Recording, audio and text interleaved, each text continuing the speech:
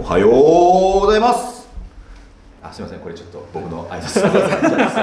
いきなり申し訳ないです。いつも見させていただいてああありがとうございます。夜なのにおはようございます。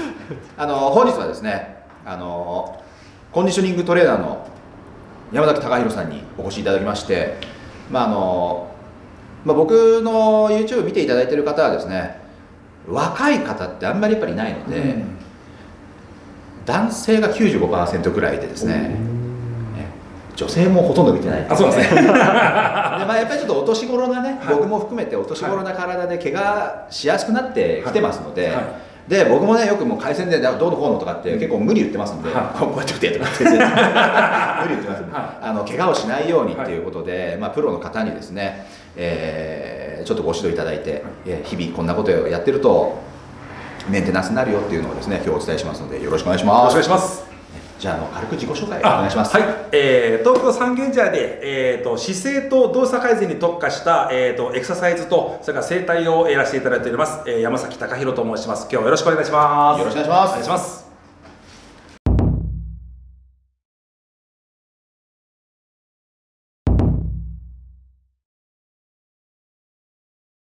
はい。では早速。はい。あの全体的にいい感じのやつを。いい感じのやつを。よろしくお願いします。よろしくお願いします。はい。えーとですね、皆さんパフォーマンスをアップしていくのにですね、もちろんテニスの技術っていうのはですね、すべてもう石井先生に僕はお任せでいいと思っているんですけれども、はい。えっ、ー、とその石井先生からいただいたアドバイスを最大限生かすために、皆さんの体のコンディションっていうのを整えることが非常に重要になってきます。うん、えー、そこの、えー、重要なことでは何なのか、何だと思われますか。体幹体幹いいですね、はい、非常に近いんですけれども、はい、その体幹をですねフルに使い切るためにですね皆さん本来あるべき姿姿勢を正すっていうことが重要になってきます、はい、でその姿勢の秘密なんですけれども、えーと、背骨をですね大体皆さんこう丸くなってちゃってる方が多いんですね、はい、と猫背の方あと猫背がゆえにお腹を出す方とかいらっしゃると思うんですがまずこの背骨に動きをつけていい姿勢をとるっていうことが非常に重要になってきますはい、先生ちょっと失礼ですが後ろ向いていただいて、はい、はい、大体の方がですねこの、えーと、背骨ってこう3つのブロックに分かれてまして首の部分を頸椎と言います。でこの腰の部分のね腰の背骨のことを腰椎と言います。そしてこの真ん中のところを胸椎と言うんですが大体皆さんここが丸くなって猫背とかそういった形になってる。ただここが丸くて硬くなると腕が上がらなかったりですとかあとは体の回旋動作が非常に小さくなってきますので体幹に非常に負担をかけてしまってバテやすくなります。なのでですねあのテクニックを最大限に生かすためにあ先生ありがとうございます。生かすためにですねこの背中の部分をまず柔らかくするっていう、えーと、簡単エクササイズをご紹介したいと思います。ありがとうございます、はい、でまずですねこちらタオルを用意しましたので持っていただいて皆さんご家庭にあると思うんですがこういったフェイスタオルですね。こちらをご用意ください。はい。でこれをですねこう細く丸めていただいてはい、はい、で端と端を持ちます。はい、はい、で大きく万歳していただいて、はい、この状態でタオルを首の後ろに落としていきますそうすると背中がめちゃくちゃ寄ってきてきつい感じだと思うんですね。はい。でまた万歳をしてはい落としています。肩甲骨がどんどん寄ってくる感じがあります。はい。でここで背中に効いてくると同時にもう一度落としていきましょう。胸が広がる感覚ありませんか？あああります。はい。大体の方は猫背でここが狭くなっちゃってるので、ここを広くすることが重要です。はい、はい、一回休憩していただきます。ありがとうございます。はい。で随分肩良くなってだいぶ動く感じがあると。だいぶ動くなって思います。はい。でここで注意していただきたいのが背中が硬いとですねどうしてもうん腰が反ってきてしまいますのでなのでできる限りお尻を後ろに引きながら胸を反るとさらに背中に効いてきます、はい。でこれが辛い方。あ辛い辛い方 辛い方はですねタオルを長くしていただくといいです。なでバスタオルとか長いタオルを使っていただくとちょっと強度が落ちます。でどうにもこうにも無理だという方は最近100均でも100円均一のショップでもチューブが売ってますのでそれを使っていただいてもいいかなと思います、なるほど。はい。こんな感じで背中を反るというのをまず作っていただくといいかなと思いますのでぜひともお試しください。はい。ではですねえっ、とそう石井先生ははい。えっ、とあちょっと一応お預かりしましょう。あすいません。はい。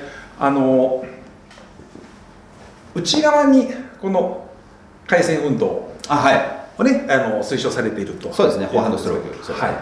えーこの時にですね、えー、とまず、えー、と内ひねりをするということは逆ひねりも持ってないとダメなんですよね。ああそうですね。はい。確かに。なのでこの通常巻き型が入ってる人っていうのはどうしてもこの逆のひねりが苦手になるんです。で逆がひねりが苦手だからこそこっちのひねりも動きがちっちゃくなるので、うん。まずこの逆ひねりを作っていくことになります、はでこの時に手をハの字にしていただいて、はい。指をまっすぐ伸ばします、いはい。でもうここからこうビームがブシャーッと出てるんですね。はブワーッとビームを放っていただいて、はい。肩関節にちょっと隙間を作るようなイメージです。いあ伸ばすはい。ちょっとこう抜く感じですね。この抜く感じで親指を思いっきり後ろにぐーっとひねっていきますとこの辺のストレッチとそれから後ろを向いていただいてこの肩のここの縮めるストレッチが入ってきます。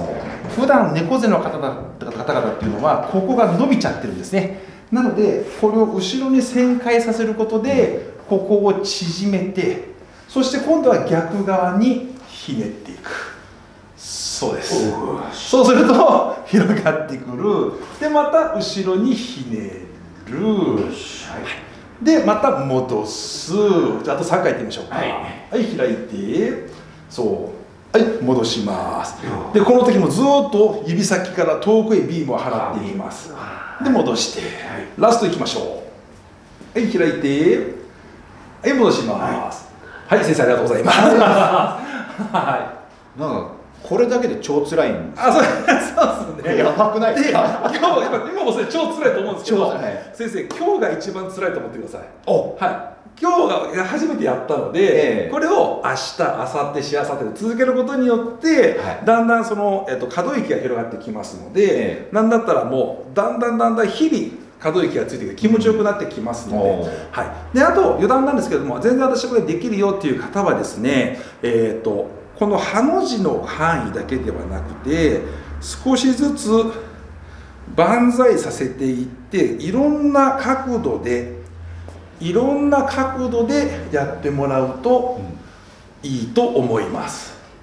いろんな角度中もはい、ちょっと肩こうそうです。こうやるような。必ず少し抜いといてください。はい。関節っていうのは少し隙間があるといいんですね。もうはい、ただ猫背だったり巻き肩だったりすると関節と関節の間にこう隙間がこう少ないところがあるんですね。はい。その結果当たりが出てえ四十肩五十肩みたいな感覚になりますのであ少し抜いた状態でのこのストレッチ入れてあげることで肩の可動域っていうのは飛躍的に上がってきます。はい。はい、でけどテニスするときサーブとか打たれると思うので、え腕が上がりやすくなりますのであと振り抜きも良くなると思いますので、はい。ぜひとも試していただけるといいかなと思います。はい。ありがとうございます。はい、あとこの回線動作があるとなった時に、はい。どうしてもグリップをしっかりそれなりに握ってないとそうですね。ダメですよね。となると利き手のここがすごく硬くなって筋肉痛が起きやすい。うんまあ慣れてる方は多分もう筋肉痛は来ないと思うんですけれども、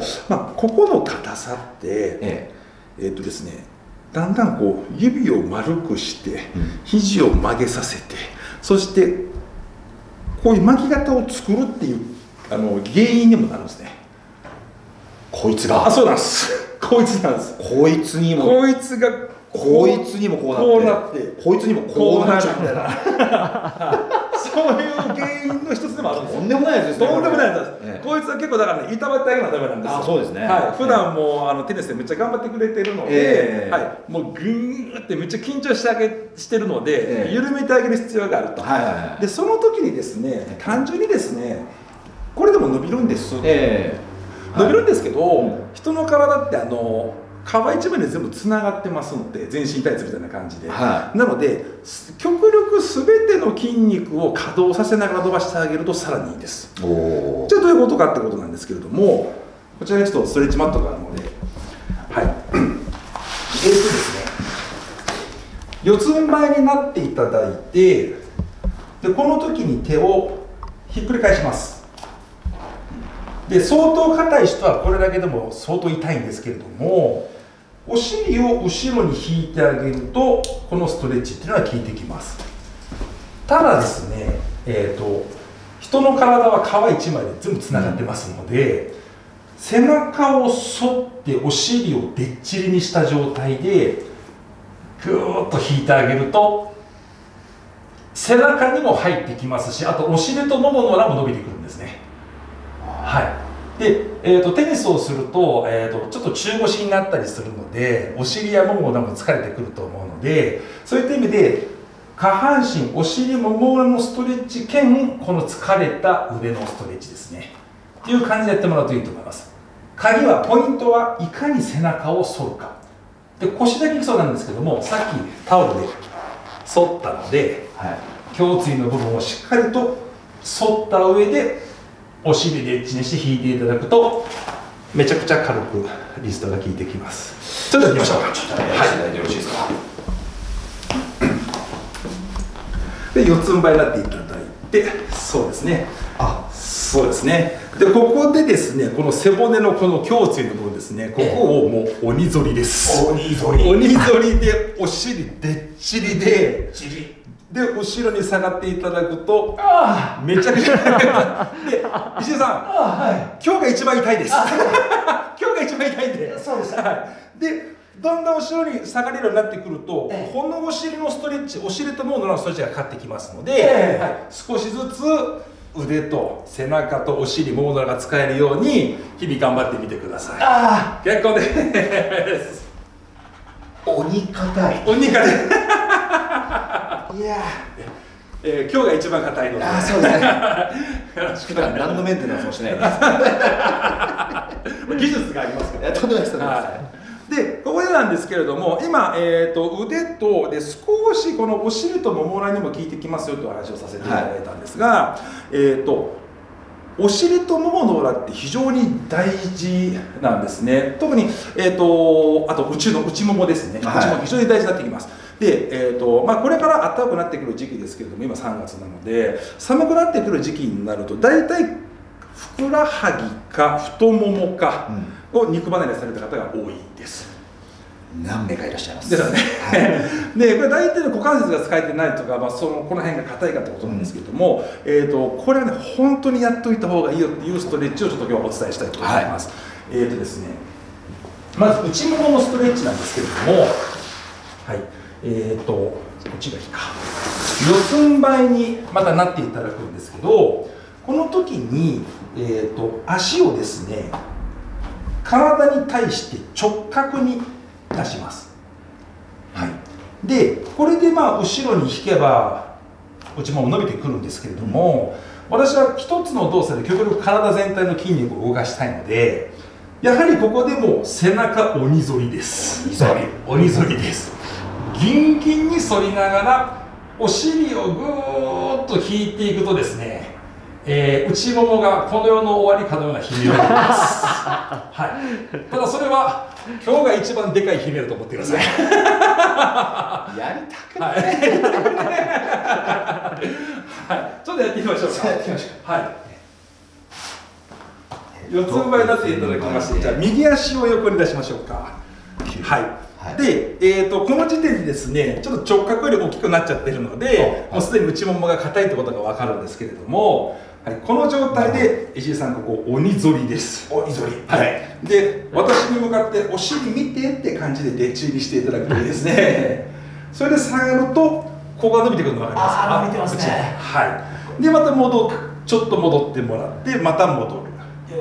そう。あと3回いきましょうか。3で呼吸は続けてください。でできたら下がるときに息を吸います。吸ってはい吐いてあと2つ。吸ってはい吐いてラストいきましょう。吸ってはい吐いてはい結構です。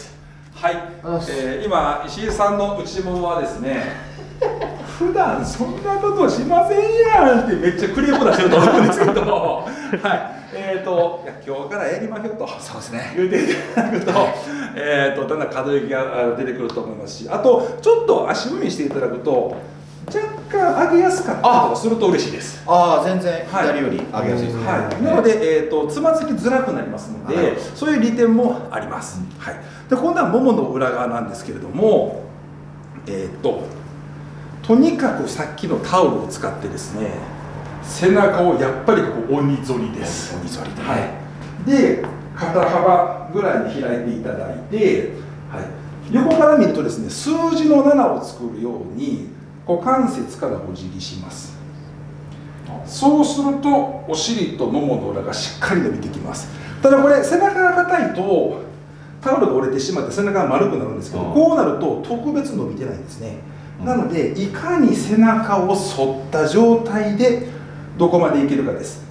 でここできつい人っていうのはここで十分ももの裏が伸びています、はい、背中等々が柔らかかったらここまでいってももの裏お尻が盛大に伸びてきますので、はい、これをちょっとやってみましょうか、はい、でもしもですね肩が痛い方はですね、ええ。肩が痛い方はえー、とここでも構わないです手を腰に当てていただいてお辞儀でも構わないですまあ、僕はもう意識高い系なんでああいいですね。いいですね。こっちさすが。それはもう生徒さんもついていくんでね。はい、では上から担いでいただいて、はい、背中鬼反りです。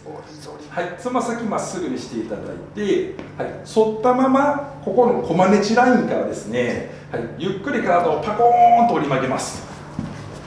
はい、ぐーっと折ってこの辺伸びてる感覚めっちゃありますね。で、ゆっくり上がります。おはい、2回で2で背中とここがすごい伸びてると思うんですね。はい戻しじゃあ今度は息を吸いながらお辞儀しますよ。はい吸って。はい戻るちょっと柔らかくなってきましたね。はい戻してあと2ついきましょう。はいそうタオルを使ってここ鬼反りです。さあラストいきましょう。はい5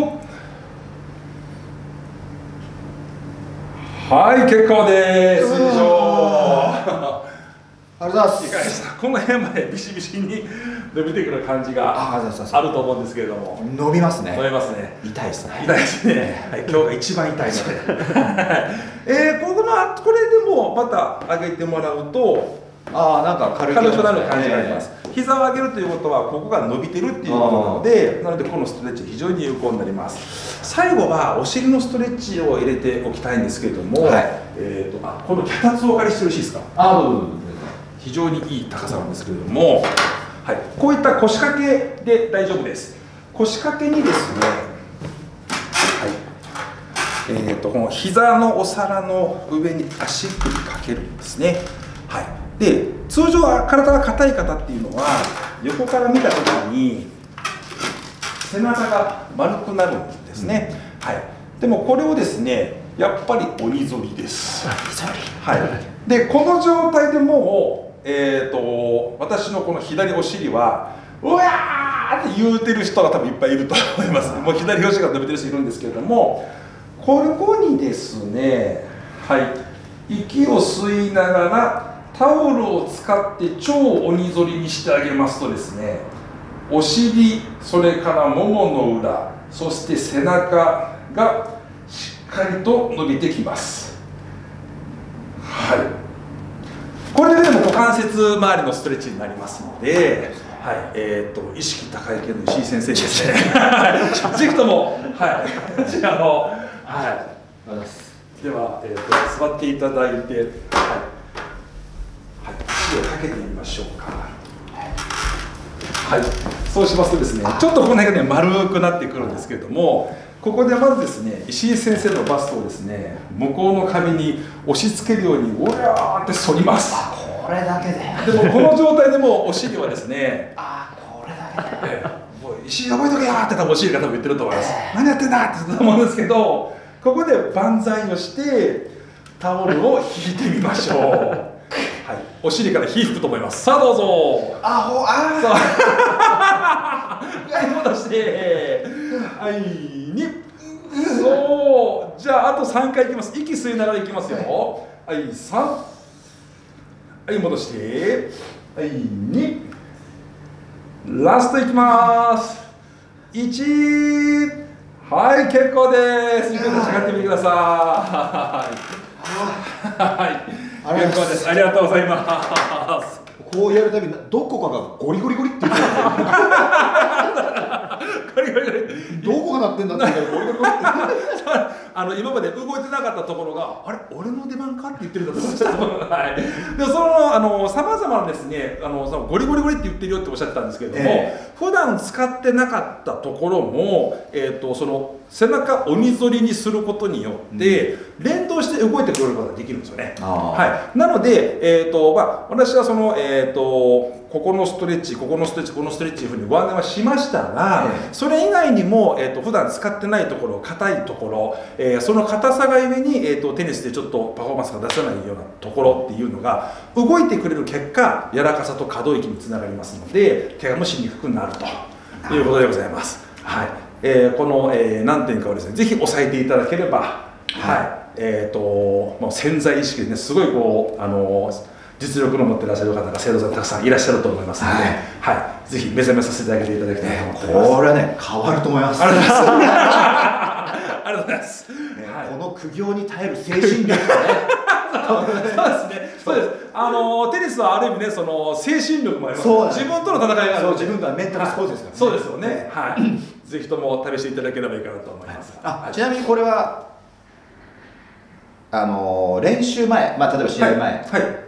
とかにもうやる、あ、えーとですね、これあのー最初のうちはですね、えっ、と練習前と練習後。とかにやってもらった方がいいと思うんですけれども、えー、とだんだん体が慣れてきますと,、ええ。ーとですね、体がこう本当に柔らかくなってしまうので、うん。副交感神経の方が優位になってしまって試合前にやるとちょっとね眠たいとか なんかこうあのなんかこうあのふわっとしてきたりなる可能性がありまあすそういった場合にはまだ違う形の、えー、と反動をつけたストレッチがありますので、またそういったのもねご案内できればいいかなと思っております。はい。はい。まあ、まずはその眠たいまで行くレベルにはなかなかね。多分今目がギンギンにさえてる。とち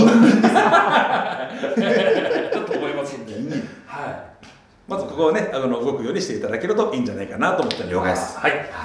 いやどうも今日はありがとうございました。ありがとうございました。じゃあがっつり伸ばしてね。伸ばしてね。